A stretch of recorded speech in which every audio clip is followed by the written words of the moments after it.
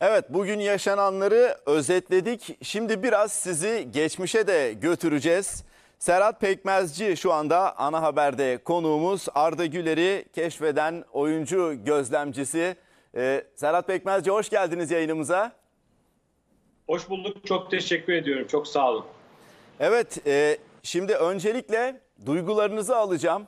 18 yaşındaki bir Türk gencini Real Madrid'e imza atarken gördüğünüzde neler hissettiniz? Sonrasında da o Arda'yı keşfetme hikayenizi merakla bekliyorum. Seyircilerimizle bunu paylaşacağız. Hem bir futbol insanı olarak hem bir Türk olarak e, çok mutluyum, çok gururluyum. E, ama inanın belki de buna en az şaşıran insanlardan birisi benim. E, ben Arda'yı ilk gördüğüm andan itibaren zaten e, buralara geleceğini e, hissetmiştim, sezmiştim. E, Türk çocuklarının e, imkan verildiği zaman neler başarabileceğini gösterebilmesi için çok güzel bir projeydi benim adıma. E, ikna sürecinde tabii e, Ümit Bey babasıyla e, kolay olmadı ikna etmem. Çünkü Fenerbahçe'nin 115 yıllık geçmişinde e, genç oyuncuları e, oynatmak, vitrine çıkarmak gibi e, bir misyonun olmadığından bahsetmişti. Çünkü Fenerbahçe çok büyük bir camia, hep şampiyonluk hedefi olan bir camia. Ama e, her şeyin bir ilk olduğunu, Fenerbahçe'nin dünya markası olduğunu e, ve Arda'nın da bunu başarabileceğini e, kendisine anlattım. E, ve benim için gerçekten büyük bir proje. 2018'in 2019'un Şubat'ında başlayan 2023'ün Cumhuriyetimizin 100. yılının e, bu Temmuz sıcak günlerinde içimizi ısıtan bir haber oldu. Türk çocukları bu işe gönül vermiş e, kardeşlerim adına çok mutlu ve çok gururluyum. Şimdi o zaman Arda'yı o keşfetme hikayesine bir dönelim. 14 yaşındayken yanlış bilmiyorsam e, başka bir oyuncuyu izlemeye gidip aynı maçta Arda Güler'i de e, görüyorsunuz ve orada o yeteneği keşfediyorsunuz herhalde değil mi? Evet evet çok haklısınız. Aslında 14 yaşında da değil. 13 yaşında. Çünkü ha, 14, 14 yaş altı, seviyesinde. Evet. Evet 14 yaş altı kategorisinde oynuyordu. O yüzden hani U14 deyince U14 yaşındaymış gibi geliyor insanların aklına ama Arda o zaman 13 yaşındaydı ki zaten e, bir oyuncunun e, elit bir oyuncu olup olamamasıyla alakalı da en kritik dönem e, 12 ile 15 yaş arasıdır. 12'den önce karar vermek e, çok gerçekçi olmuyor. 15'ten sonrası içinde bazı şeyler çok geç kalmış oluyor. E, ben gerçekten dediğiniz gibi e, göreve başladıktan birkaç hafta sonra Ankara'ya gittim. Osmanlı Spor Gençler Birliği U14 kategorisi maçlarını izledim. Hem U14 seviyesinde hem U15 seviyesinde. Ee, başka bir oyuncuyu izlemeye gitmiştim doğru. Ee, ki o da çok yetenekli, çok özel bir kardeşimiz. Ee, onu da kazandırmak istemişti Fenerbahçe. Nasip olmadı. Hatta birlikte oynarlarsa çok daha iyi olur gelişimleri diye düşünmüştüm. Çünkü iyilerin e, iyi, e, en iyi olabilmesi için iyilerle oynaması gerekiyor. Orada gördüm. Tek maç izledim ve tek maç yetti. Transferin bitmesine de çok az bir süre vardı. Ee, çok ısrar ettim. Ee, üstlerime rapor yazdım. Sözlü ifadeler kullandım. Asistanlarıyla görüştüm. Baktım e, sonuç alamayacağız. Bir taraftan da tabii e, Ümit Bey ile görüşüyoruz. E, Arda'nın ne kadar çok Fenerbahçe'ye gelmek istediğini, e, hayallerimizi gerçekleştirmek için iyi bir ortam yaratabileceğimize e, ikna ettikten sonraki motivasyonu da gün be gün e, konuşuyor, konuşuyoruz, paylaşıyoruz. E, baktım olmuyor. E, kendi Fenerbahçe'deki kariyerimi de riske etmek adına üstlerimi aşıp Sayın Başkanımız Ali Koç'a bir DVD hazırlattım. Ve bir şekilde kendisine ulaştırdım. Ee, ve bu oyuncunun çok özel bir oyuncu ol, olacağını söyledim. Sonra kendisi sağ olsun e, benimle temas kurdu. Gerek yüz yüze gerek telefon üzerinden. Ee, neden bu kadar ısrar ediyorsun dedi. Ben de eğer 16 yaşında A takımımızda oynayamaz, 17 yaşında A milli olmazsa e, ben bu işi bırakırım. Çünkü 600 bin oyuncu izlemiş bir scout olarak bu kadar iddialı konuşuyorum başkanım dedim. E, sağ olsun bana güvendi, inandı e, ve transferini gerçekleştirdik. Transferin bitmesine birkaç saat kala hatta. E, tabii burada bitmedi iş. Ben Arda'nın dediğim gibi bir projeydi benim için Türk çocuklar adına. E, bir ev tutulmasını sağladım e, Fenerbahçe Koleji'nde okuyup hazırlık sınıfında İngilizce öğrenmesini e, sağladım. Babasına iş imkanı yarattık. Ablası yeni mezundu, ona iş imkanı yarattık. E, çünkü Arda Solak, e, Solaklar biraz duygusal içine kapanıktır. Özel çocuklardır.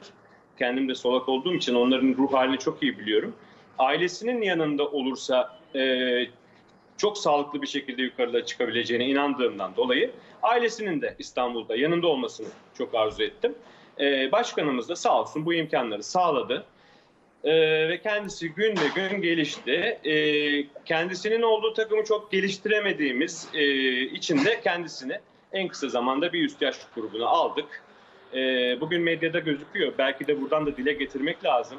Ee, diyorum ya Türk çocukları adına e, ben bir e, ne diyelim yani onların sesiyim, e, onların nefesiyim.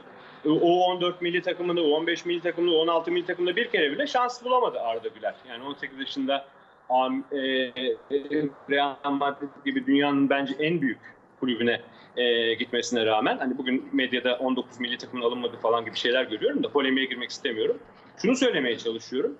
E, Arda zayıftı, Arda çelimsizdi, Arda güçsüzdü ama çok özel bir beyne, çok özel bir ayaklara sahipti. E, biz bunu sezdik, hissettik ve e, Rabbime çok şükür e, çok güzel bir adım attı. Bütün dünya artık e, buralarda yeni Ardalar bulacak. E, bulmaları kolay olacak mı? Çok zor. E, ama ben en azından kendi adıma Arda üzerinden e, sesimi duyurmaya çalışacağım. E, ve ben gelecek adına ümitliyim. İnşallah hep beraber sizlerin de desteğiyle e, yeni bir çığır açarız. Türk milli takımının hedefi Dünya Kupası'na veya Avrupa Şampiyonası'na katılmak değil. Oralarda final oynamak olmalı. E, Arda da bunu gösterdi, ispatladı. Evet. Serhat Pekmezci siz biraz mütevazı anlatıyorsunuz ama şu söylediğiniz cümle çok önemli. 16 yaşında A takımda oynamazsa 17 yaşında da A milli takıma gitmezse ben bu işi bırakırım demeniz gerçekten çok önemli. Ee, Evet. Bizim de Türk futbolu olarak size bir teşekkür borcumuz var bu kadar ısrarcı olduğunuz için. Siz Arda'yı Çok teşekkür ederim. Estağfurullah. Siz çok yakından tanıyorsunuz Arda'yı. Şimdi Real Madrid'e gitti. E, kişiliğini biliyorsunuz, yeteneklerini zaten biz de biliyoruz, siz daha iyi biliyorsunuz. Orada ne yapar acaba Real Madrid'de o yıldızlar topluluğu Los Galacticos'un bir parçası olur mu? Ee, bazı oyuncular vardır. Ee, onların sınırı yoktur. Kendileriyle yarışırlar. Gün be gün hep daha iyisi olmak için e, var olurlar. Arda Güler 18 yaşında Real Madrid'i tercih ederek bir meydan okuma gerçekleştirdi. O bunun ruhunda var zaten. Ee, Arda böyle doğmuş. Ee, inanılmaz kalitede, inanılmaz yetenekte, inanılmaz karaktere sahip bir grubun içerisinde. Ee, dünyanın belki de e, en iyi bir iki hocasından biriyle çalışacak.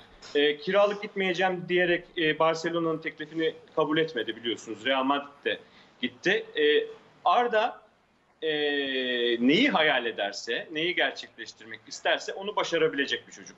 Ancak e, güzel bir soru sordunuz. Burada e, Arda'nın e, Real Madrid'e giderkenki görüntülerini siz de görmüşsünüzdür. E, yani e, adliyeye mi gidiyordu, Madrid'e mi gidiyordu belli değil. O biraz beni üzdü açıkçası. Arda çok daha güzel bir şekilde uğurlanmayı hak ediyordu. E, hem milli takımımız olarak hem Fenerbahçemiz olarak hem bütün futbol severler olarak ona çok ciddi anlamda destek olmalıyız. E, çok büyük bir savaşın içerisine giriyor. E, yalnız hissetmemeli kendisini. Dönem dönem düşüşler olacaktır. Kadroya giremediği dönemler olacaktır. E, süre alıp da istediklerini yapamadığı dönemler olacaktır. Bunlar çok son derece doğal, son derece olması gereken şeyler. O anlamda biraz daha korumalıyız, biraz daha sevmeliyiz, biraz daha bağrımıza basmalıyız. En azından bunu e, Arda gibi olmak isteyen çocuklarımız adına yapmamız lazım diye düşünüyorum. Son cümlenizden yola çıkarsak Arda gibi olmak isteyen çocuklar dediniz. Şu anda sizin gözlemlediğiniz Türk futbolunda bu seviyelere gelebilecek e, kapasitede e, oyuncular var mı? Gençler var mı? Böyle bir müjde e, alabilir miyiz sizden? E, inanın çok fazla var. E, yani e, her oyuncu 10 numara e, olarak transfer olmaz. Bakın ülkemizde e, sağ bek yetiştiremiyoruz, sol bek yetiştiremiyoruz, stoper yetiştiremiyoruz, ön libero yetiştiremiyoruz. E, birazcık kaleci yetiştiriyoruz. Çünkü neden? Her takımda 25 oyuncu, 2 tane, 3 tane kaleci oluyor. Kalecilerin özel antrenman, özel antrenörleri oluyor. Yani bir tane antrenör, 2 tane, 3 tane kaleciyle uğraştığında, ilgilendiğinde onların e, gelişimleri daha sağlıklı oluyor. Ama bir antrenör veya iki antrenör yeni mezun olmuş arkadaşlar. Ee, 25 tane çocuğun gelişimiyle ilgili maalesef çok fazla yol kat edemiyorlar. Ben Altınordu'da da çalıştım biliyorsunuzdur belki 6 sene. Ee, o dönemde e, ben ekibimle beraber 600 bine yakın e, oyuncu izledim. E, yanı sıra da ulusal ve uluslararası birçok turnuva takip ettik. Hem Türkiye'de hem Avrupa'nın farklı ülkelerinde. Ben hep şunu iddia ettim. Arşivlere bakarsanız görürsünüz. Çok fazla biliyorsunuz biz e, ön planda olmuyoruz. E, çok magazinsel olmadığımız için, yaptığımız için kıymeti de çok fazla olmadığı için e, şunu iddia ettim. Türkiye'deki çocuklar Brezilya'daki çocuklardan çok daha yetenekli. Çünkü bizim ırkımız e, karma bir ırk. E, Lazımız, Çerkezimiz, Kürdümüz, Türkümüz, Özbeyimiz e, çok karma bir ırkız. Biz hem zekiyiz, hem çalış, e, çalışkanız, hem süratliyiz, hem güçlüyüz, hem dinamiyiz. Yani biz e, Arda ile beraber Avrupa'nın Brezilya'sı olabiliriz. Çok Evet. yetenekli çocuklar var. Mesela benim e, 9-10 tane çocuk var. E, Türkiye'de gelmiş geçmiş en büyük forvet olacak bir çocuk var. Mesela 11 yaşında, 12 yaşında. Sol bek, sağ bek çocuklar var. Bir tane oyuncu var mesela bence Avrupa'nın en iyi ön liberolarından bir tanesi olacak. Evet. Ancak şu var. e, biz çocuklarımıza imkan sağlamıyoruz. Hı hı. İstanbul'da e, çocuklar 18 yaşına kadar çim görmüyor. Çim sahaları yok. Bunların hepsi halı sahalarda, beton gibi zeminlerde top oynamak zorunda kalıyorlar. Ee, gelişim ligi adı altında hafta içi okuldan çıkıyorlar. Koştur koştur koştur. Antrenmana hafta sonu 30-40 dakika maç yapıyorlar. 48 saatte yaptıkları tek şey bu. Antrenman saatleri planlanıyor ama temas sayıları, topa dokunma sayıları planlanmıyor. Yapılacak çok şey var. Evet. Futbol Federasyonumuza ben bu anlamda e, kısa bir e, sunum demeyelim de sohbet ettik. Onların da projeleri vardı ama e, biraz aksadı. Seçimler, deprem vesaire ülkemiz biliyorsunuz kötü bir dönemden de geçti. E, yapılacak şeyler çok basit. İnanın çok basit ama bazen insan hani Cruyff'un dediği gibi futbol basit bir oyun ama basit oynamayı bilmiyoruz diye. Evet. E, çok çok oyuncu var ve bundan sonra e, üzerimize çok daha fazla sorumluluk düşüyor. E, bu çocuklarımızı sahipsiz bırakmamamız lazım. Serhat Pekmezci çok teşekkür ediyoruz size e, canlı yayınımıza bağlandığınız için ve Arda gibi bir yeteneği Türk futboluna, Fenerbahçe'ye sonrasında da Real Madrid'e tabii milli takıma da kazandırdığınız için iyi akşamlar diliyoruz. Ben çok teşekkür ederim zaman ayırdığınız için. E, iyi yayınlar diliyorum. Hoşçakalın. Çok teşekkürler.